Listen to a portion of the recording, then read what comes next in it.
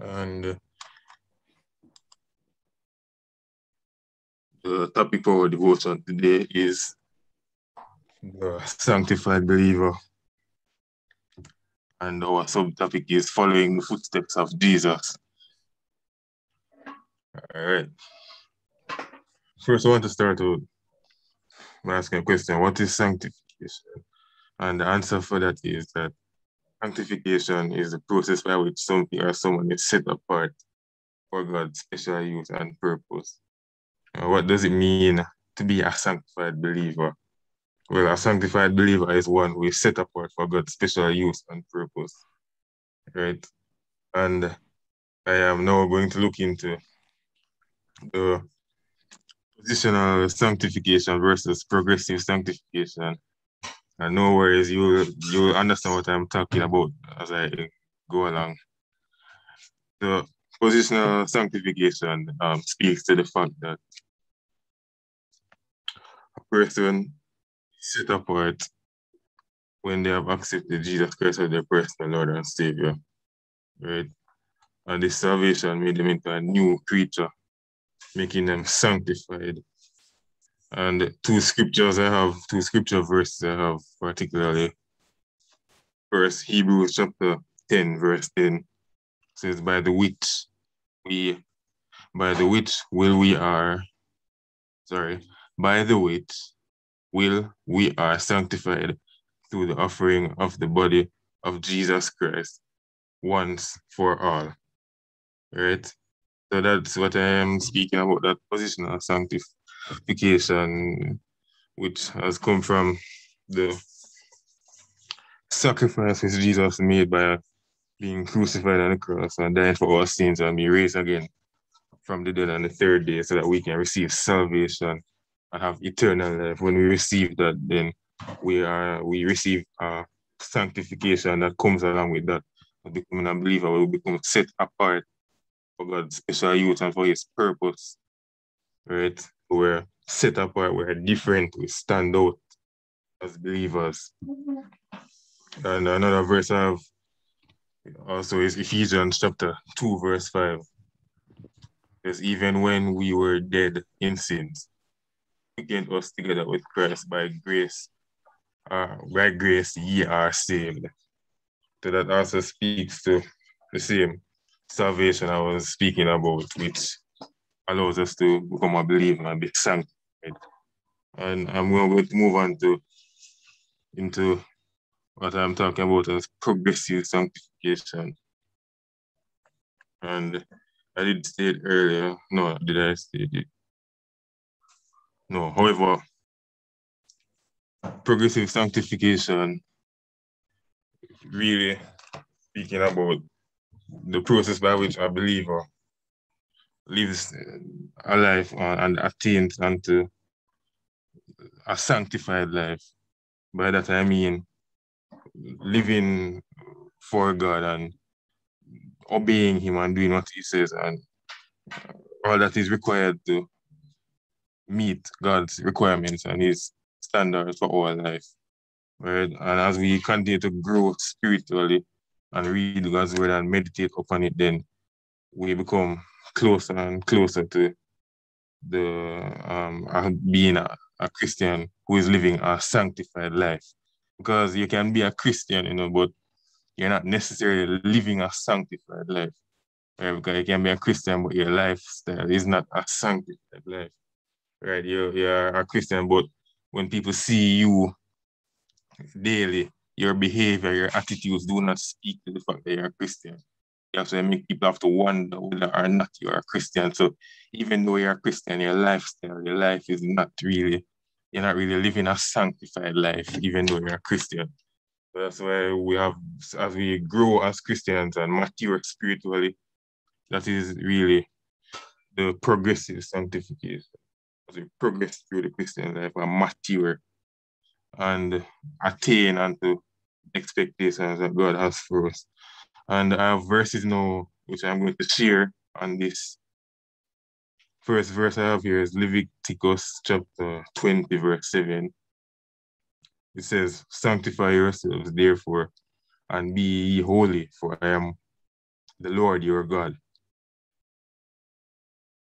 And these verses actually are really showing us the different ways in which we can attain um, unto a sanctified life, right? Through that progressive sanctification as we live our lives as Christians.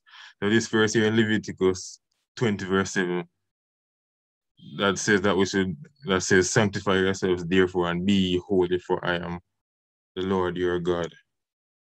This verse actually shows that sanctification or sanctity and holiness goes hand in hand, right? Because sanctification, those a sanctified believer, right, will also be holy, right? Sanctification really is also speaks to that purity, right, and that perfection for which God calls us for. That when we are sanctified, it means that we have set apart, we have to be set apart and we have to be pure. Right? And the next verse I have now is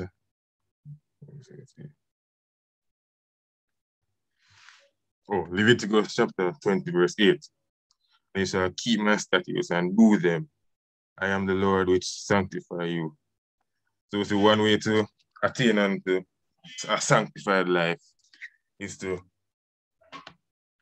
keep God's statutes which is his commandments, right? Keep them in memory, right? And do them. So not just not just know them and understand them, but actually do them. Because as we observe God's commandments and we read about them and hear them and meditate upon them, then we also have a responsibility not only to do that, but to actually obey them, right? Do what it says, because it's as we obey what God commands, what He requires of us, and that's what we will progress through the Christian life in the way which He intended for us to. Right? And the next verse I have here now is First Thessalonians chapter 4, verse 3. It says, For this is the will of God, even your sanctification, that ye should abstain from fornication. Fornication, sorry. And the reason why this one specifically was brought up here is because it, it speaks to the significance of sexual sin. Right? That is really something that is really significant and has really dire consequences. Right? And that's something that we are always really seriously warned against. And that's really a big part of the sanctification. I mean, everything, everything and everything needs to be purged out of us so that we can be sanctified but that specifically carries a really certain level of significance to it, right? And that's why the Lord, and that's why that was specifically pointed out in that verse in particular. And the next verse I have here is Romans chapter 6, verse 19. It says, I speak after the manner of men because of the infirmity of your flesh.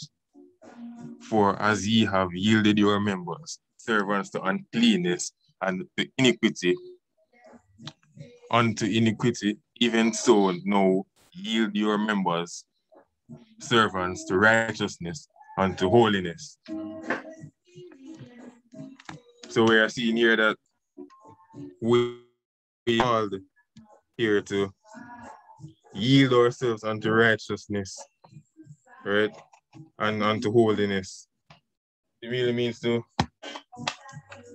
give ourselves over to it, right? Allow it to take control of us, right? We Allow it to pull us towards it.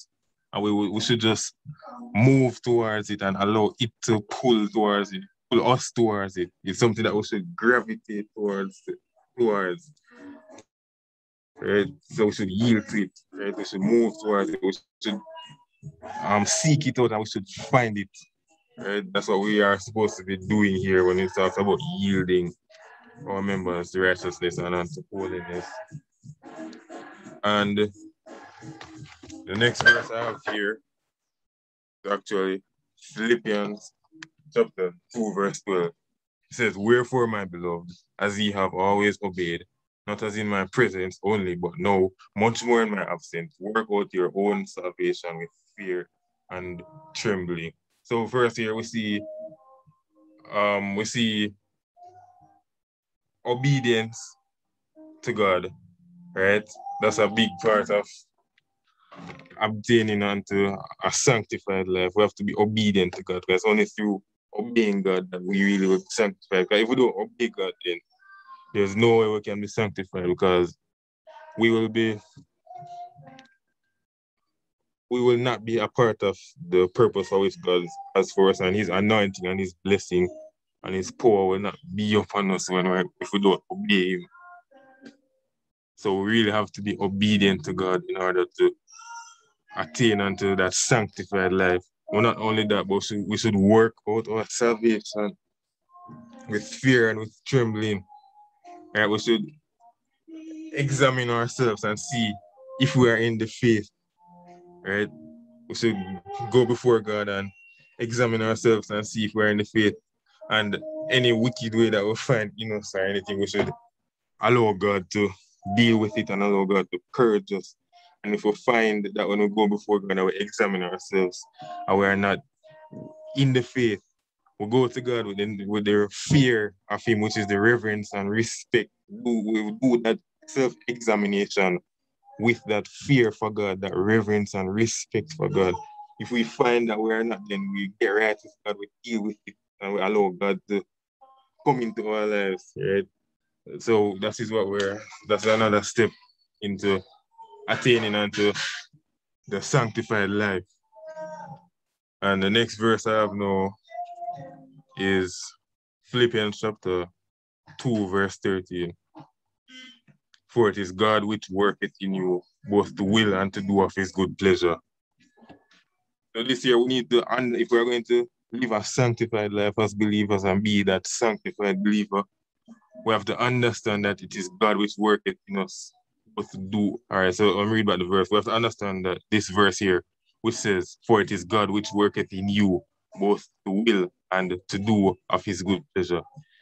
If we understand this, then it means that we will submit to God because we have to submit to God in order to do what is right and what is pleasing unto Him. We have to understand that this Christian life is not our own, right, but it's the Lord's, and we should submit unto Him as He is the one who gives us the very desire to obey Him and please Him. So it's not of our own self, of our own strength, but we have to depend totally on God, right? or to submit ourselves to God and depend totally on Him. Once we can do this, then we are on our way to living that sanctified life and being that sanctified believer. And then next verse I have is Galatians, Galatians chapter 5, verse 16. This I say then walk in the spirit, and ye shall not fulfill the lust of the flesh. We're going to live a sanctified life of walk in the spirit, walk in the spirit, that we should not fulfill the lust of the flesh, as the word, as the word says. We have to walk in the spirit of God. We have to ask God to help us to obey his word and his every command and to put his power and anointing upon us and do everything that we do as unto God and with God's spirit upon us. And we have to ensure that we do not yield to temptation, right? We have to ensure not to yield to temptation, but to diligently seek after God and follow what he says and obey him. And whenever temptation comes up, in our face to try and distract us and get us to yield to it, then we should be able to fight it off with the scripture and God's word, right? As we should be praying every day and putting on the armor of God on us every day so that we'll be able to withstand all the wiles and all the fiery darts of the enemy.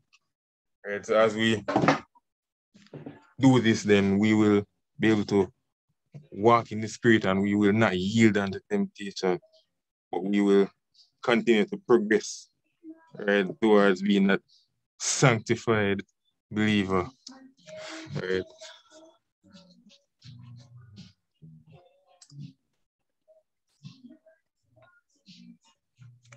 Right, next verse I have now is First Peter chapter 2, verse 21.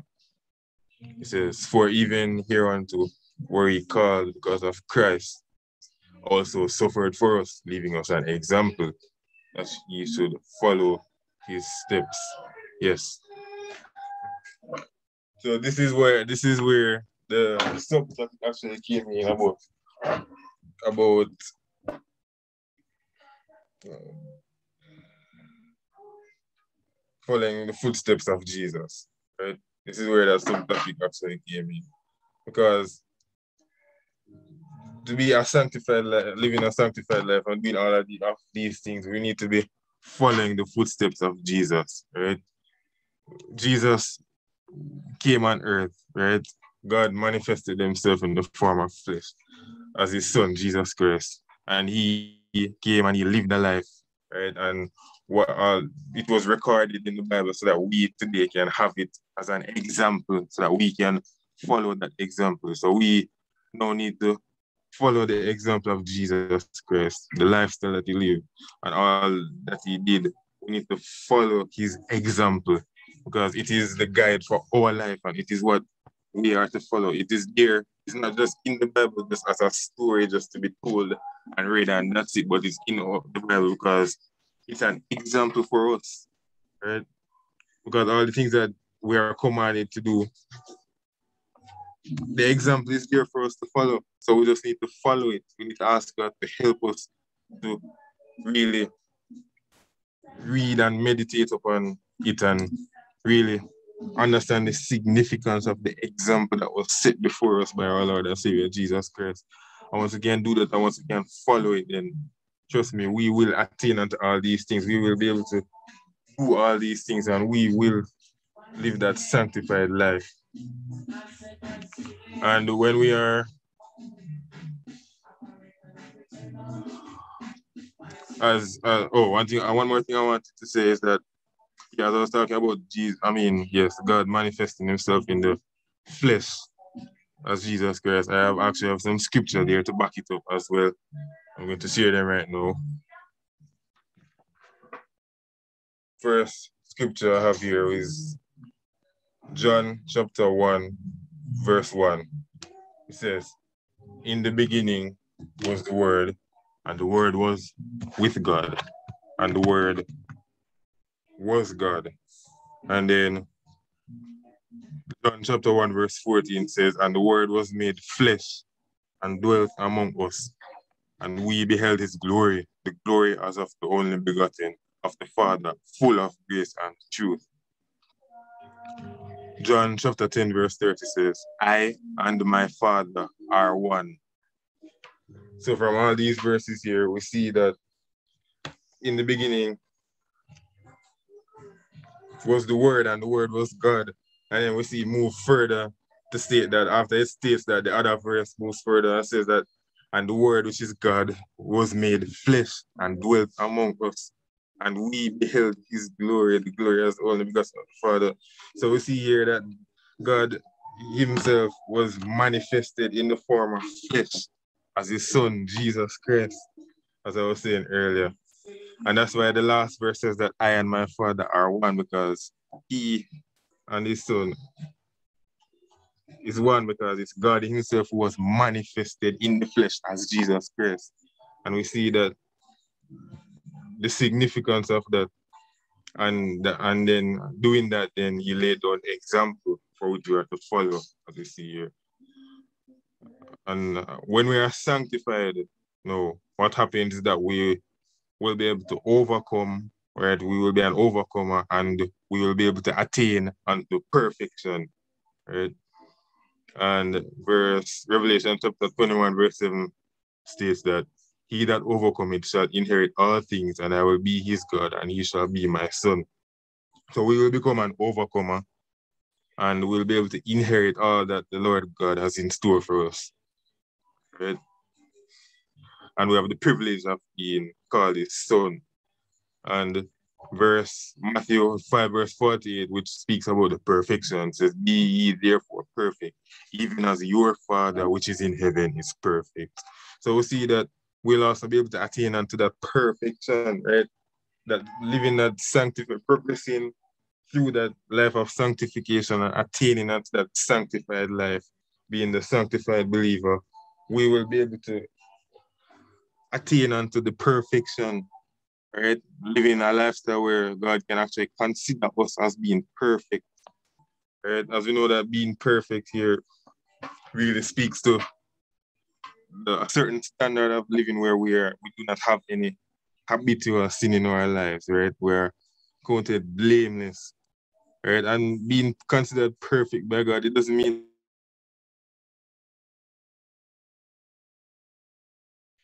Unmute yourself, Theo. You're muted. Oh, I'm sorry. Oh, I didn't realize where that was. All right.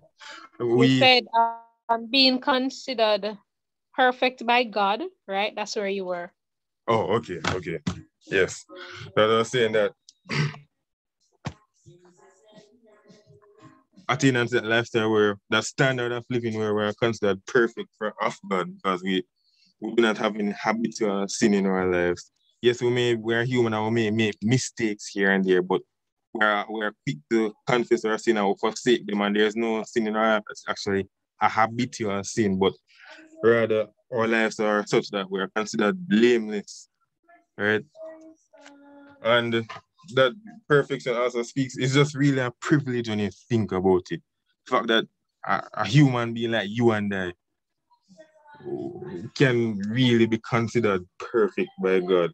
Like that just shows how much God actually loves us and values us. It just shows how much we worth, the significance that the time and effort that he invested in making us that he would privilege us so much to see us as that.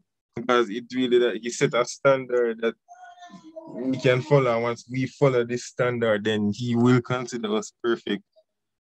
Right? It's just uh, it's just like your I know that teachers always, well, some teachers say that that there's no such thing as being perfect, so they don't give students a perfect grade, right? But the thing about that is that the perfection, the perfect there, nothing in the world is perfect. However, something can be perfect according to a standard, right? So if you, according to what is expected from you, for example, you get a particular assignment, apart according to what is expected from you, you can perfectly meet that expectation, right? And once you perfectly meet that expectation, then you will get perfect marks, right? So the same thing, we got, got to set his standard for us to follow, right? And once we are following it the way we should, and we're doing and attaining unto everything that he said that we should do, and living the lifestyle that he calls us to live, right? That lifestyle of blamelessness according to his standard, then he will consider us perfect, right? So really need to strive and understand the perfect perfection, what it really means, and know that it is something that we can achieve. It's not unachievable. If it was not so, if it was not possible, then the Lord would not allow, would not tell us that we should do that because the Lord is not going to say anything that we cannot do. Any, everything that the Lord tells us to do is possible and can be done. Right? So really thank God for that revealing all of these things to us and bringing the light. Because I really, I myself have been blessed by this too. Right? Because the Lord really was speaking to all of us, including me. I really want to thank him for that. Right, I'm going to pray now. Uh, Lord God, I just come before you right now. Lord God. I just thank you, Lord God, for your goodness and your mercy. Lord God, I just thank you, Lord, for the gift of salvation, God, by which we all can receive eternal life, Lord God. Lord, I thank you, Lord God, for all that you have done for us, Lord God. I thank you, Lord God, that we can live a sanctified life as life as believers, Lord God. And Lord, we can be considered perfect by you, Lord God. Help us all, Lord God, to Lord, God, aim to live a life, God, Lord, where which we will be considered perfect by you, Lord God. Lord, that life of blamelessness, God, before you, Lord God, in your sight, Lord God. Lord, I pray, Lord God, you help us to understand, Lord God, it's possible to achieve it, Lord God. Help us to, Lord, aim towards it, Lord God. Help us to obey you, Lord God, at all times, Lord, and surrender ourselves to you, Lord God, I pray and I thank you, Jesus. Lord, help us to hide your word in our heart, Lord God, because by hiding your word in our heart, Lord God, that we will become who you want us to become, Lord God. As Joshua 1 verse 8 says that this book of law shall not depart out of thy mouth, but thou shalt meditate therein day and night, that thou mayest observe to do according to all that is written therein. For then thou shalt make thy way prosperous, and then thou shalt have good success, Lord God. Lord, if you just hide your word our heart, God, and observe to do according to all that is written therein, Lord God, then, Lord God, we will truly attain unto all that is, Lord, that you have to have for us, Lord, and we will truly attain unto being a sanctified believer, Lord God, and Lord, attain unto the perfectness, Lord, for which you call for us, Lord God. And Lord, our, the purpose for which you have for us, God, will be fulfilled. And Lord God, we will come into the fullness of everything that you have in store for us, Lord. Lord. We will not miss out on every anything, Lord God Almighty. Lord, help us understand, Lord God, that even these times that we're living in, oh Lord, we need people, Lord God, who will stand up for you, Lord God, and who will be the example, Lord God, so that others can follow, Lord God, who will follow your example, Lord God, so that others can, Lord, see the light, Lord God, and come to you, Jesus, and Lord, that they can, God, become children of God, and they can also become, make disciples, Lord God Almighty. Lord, to help us, Lord God, to ourselves, Lord God, to be used by you, Lord God Almighty. Lord, help us to seek your kingdom first, Lord God Almighty, and everything else, Lord, will be added unto us, Lord God. Lord, I just thank you, Lord God, for everyone that is hearing this now, Lord God, and I pray, Lord God, that you'll just bless us, Lord God, because each and every one of us, Lord God, to, Lord, spend some time, Lord God, to, Lord, examine the scriptures, Lord God, and get a even better understanding of all of this, Lord God, because there's always more to learn, God, and always more to understand, Lord God. No matter how much we go in the scriptures, God, and read and pray and meditate, Lord God, we can never get enough. Because every time, Lord God, there's something new, no matter how much time, Lord God. There's always something and always more. It's infinite, Lord God. So it cannot be exhausted. So help us to understand that, Lord God, and help us to have a zeal and passion for your word, Lord God. I pray and I thank you. Just thank you for all these things, Lord. And just bless everyone here, Lord God Almighty. And just cause us to all step into the purpose, Lord, for you have for us, Lord God. I pray. I thank you for all these things, God. In Jesus' name. Amen.